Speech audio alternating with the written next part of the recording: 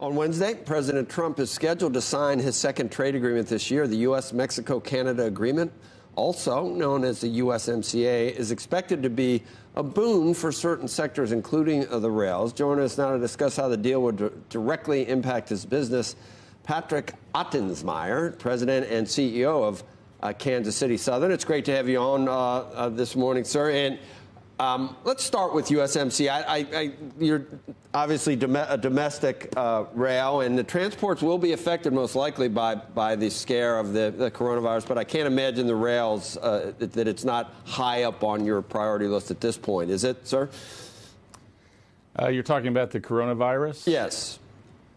Uh, no, I mean it's an unknown. Um, I, it's, it's, hard to know how this is going to spread, but uh, I wouldn't say you know, at this point, uh, based on what we know, that it's going to have a big impact on our on our business. Right. Uh, the, uh, as I said, the transportation average in terms of airlines, obviously, um, you could see some weakness there, but um, obviously not uh, domestically, unless I think what are there three or four or five cases maybe at this point. And uh, so let's let's focus primarily on on the USMCA. Is that going to really be a, a big positive? Would you say?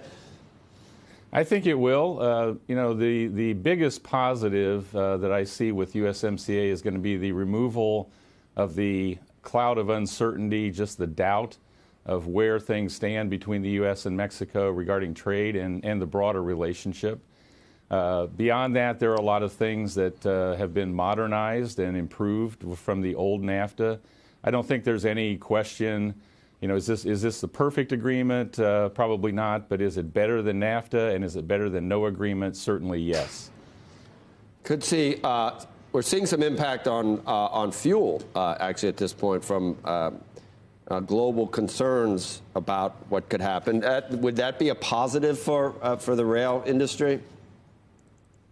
It could be. in, in, our case, uh, in, in, the case of moving petroleum products and, and, refined products, that's been a big area of growth for us between the U.S. and Mexico. That has uh, more to do with uh, constitutional reforms that took place in Mexico a few years ago that opened the market and started to break down the Pemex monopoly. But that's been a big area of growth for us uh, as a company and, and, and a, a growth area that we see going forward. Are, are, you convinced that it is a growth area going forward? This is Michelle Caruso Cabrera. Good to see you again because the Hi, current Michelle, president yes. of Mexico is not a big fan of what they did with the oil industry there. He's very much the old school that thinks um, that the government should be much more involved in the oil sector rather than less involved.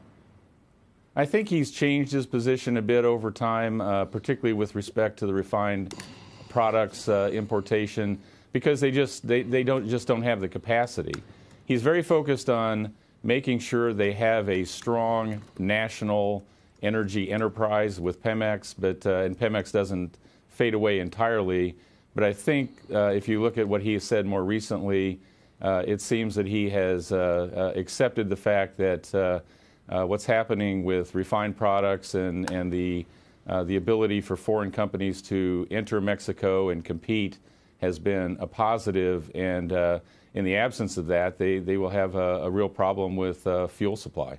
Yeah, that would be a relief if he uh, changed that position.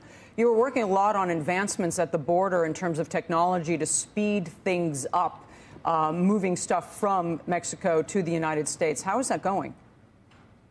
It's going well. We're engaged with uh, Customs and Border Patrol and all the, the security and tax uh, agencies. We're working on a uh, blockchain project uh, that we think would be helpful in speeding, making the border crossing more efficient but there's uh, there's no doubt that there's a lot of improvement. And even if you look at the model uh, that's right here in North America, the way freight moves between Canada and the U.S., if we could move toward that model, which I think is a very relevant precedent, uh, it could significantly increase capacity for both southbound and northbound what, uh, what would be the difference in time frame? Uh, can you give us, you know, now it's currently and eventually it could be, or in Canada it's only, and in Mexico it's as long as? You know, it, it could probably be a, easily a 50% reduction in the amount of time it takes to move a product across the border. Wow, that would be a big improvement. Overall, uh, so the, the strength of the U.S. economy is, is, uh, is, is, clear to you at this point, and do you expect capital uh, spending to pick up? Well, capital spending in, in our company and across the rail industry has actually been declining, but that's been more a function of the operational uh, efficiency improvements that uh, have taken place across the industry. And, and, uh, and, clearly, volumes have been weak, so uh, capex has, has come down accordingly. Uh, but I, I think uh, you know the capital investment will continue to provide additional capacity, and we are certainly I think a little more bullish than some of our rail industry uh, peers in terms of the way we look at 2020. We think 2020 is, uh, is going to be a, a, a, decent year, particularly as we move into the second half of the year. USMCA should be a, a boost to the Mexican economy, uh, which will help us as well.